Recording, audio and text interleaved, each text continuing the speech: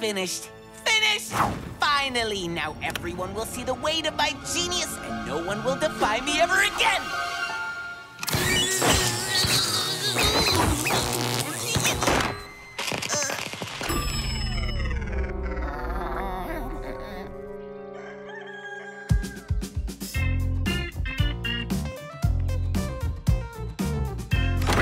Aren't you ready yet?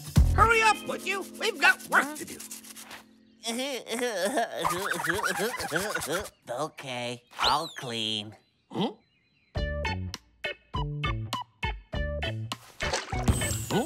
Shake that cap of yours instead of just smurfing there like a mushroom. Smurf me that bottle of sarsaparilla concentrate. Ah. This is no time for jokes, Brainy. That's Jokey's department. Okay, smurf me the sarsaparilla. Spatula.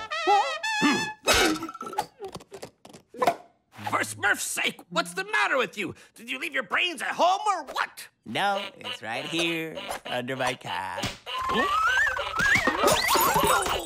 I think you better get some rest. Smurf out that door. You clearly need some sleep.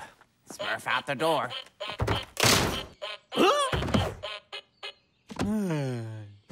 Enough, Brainy. Now get out of here. It isn't funny anymore. Uh, but you said. Uh, I know.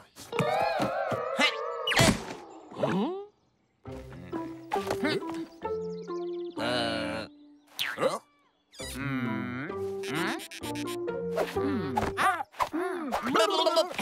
That's funny. This mirror wasn't here before, right? You're silly. It's me, Dimwitty. Ugh, and it's a talking mirror too.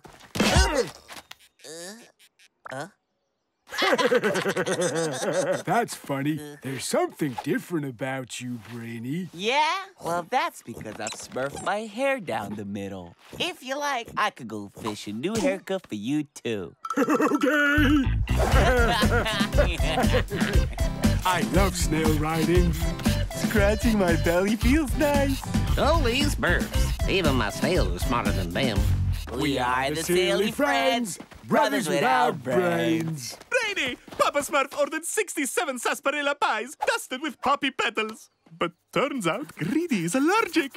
Which percentage of poppies should I smurf in the pies to prevent Greedy from scratching all night? Wait, 34 times 67 carry 100, multiply by 2 makes... I don't have a single clue.